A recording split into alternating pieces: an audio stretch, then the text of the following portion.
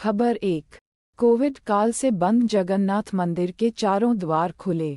CM Mohan माझी ने सरकार में आते ही लिया फैसला आज तक, खबर दो।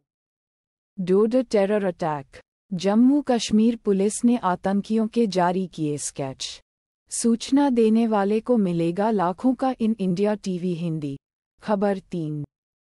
पीएम मोदी मीटिंग, कुवैत में भीषण आग में मारे गए तीस भारतीय। पीएम मोदी ने जताया शोक। दो लाख की सहायता, एबीपी न्यूज़। खबर चार। पीएम पर तंज कसते हुए राहुल गांधी ने बताया अपना धर्म संकट। बोले, दुर्भाग्य ये है कि मुझे भगवान गाइड नहीं करते जनसत्ता। खबर पाँच। Ghaziabad fire incident. गाजियाबाद के एक मकान में भीषण आग। दो बच्चों सहित पाँच लोग ज़िंदा जले। दो को दैनिक जागरण दैनिक जागरण, खबर छः चंद्रबाबू नायडू का झुकना, पीएम मोदी का गले लगाना।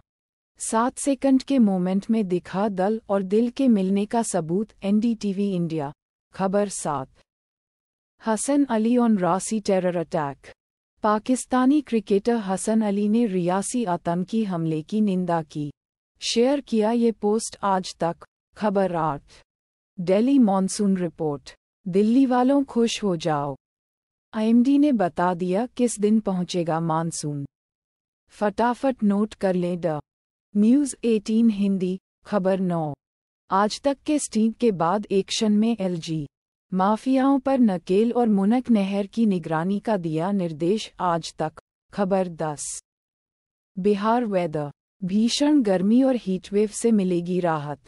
मौसम विभाग ने जारी किया आंधी बारिश का अलर्ट आज तक ऑटोमैटिकली जनरेटेड